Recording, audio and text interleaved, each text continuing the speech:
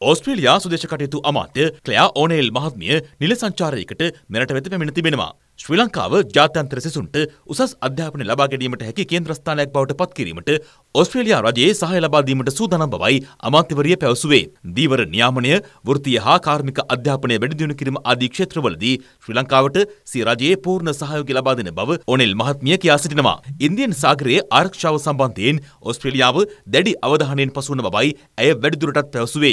ඉන්දිය සාගරයේ ආරක්ෂාව තහවුරු කිරීම වෙනුවෙන් ඕස්ට්‍රේලියා රජය සෑම විටකම සහයෝගය දක්වන බවද ඕනයිල් මහත්මිය පැවසුවා. මෙරට නාවික හමුදාවේ 50 දෙනෙකු විශේෂ පුහුණුවක් සඳහා ඕස්ට්‍රේලියාවට ගොස් සිටිනවා. එවැනි පුහුණු අවස්ථා ලබා දීම සම්බන්ධයෙන් ජනාධිපතිතුමා ඕස්ට්‍රේලියා අමාත්‍යවරියට සිය ස්තුතිය පළ කළා.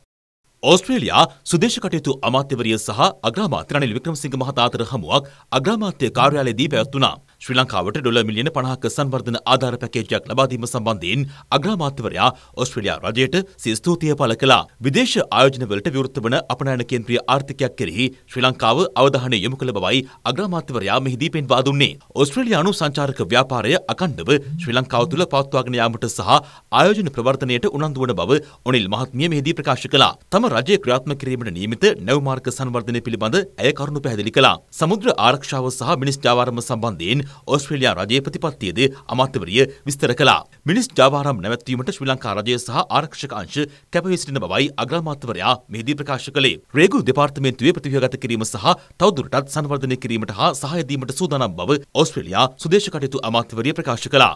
මේ අතර ක්ලයා ඕනෙයිල් මහත්මිය විදේශ කටයුතු අමාත්‍ය මහාචාර්ය ජීඑල් පීරිස් මහතාද හමු වුණා. දෙරට අතර ද්විපාර්ශ්වික සම්බන්ධතා වර්ධනය කර ගැනීම සම්බන්ධයෙන් දෙපාර්ශ්වය අතර අදහස් හුමාරු කර ගැනුණා.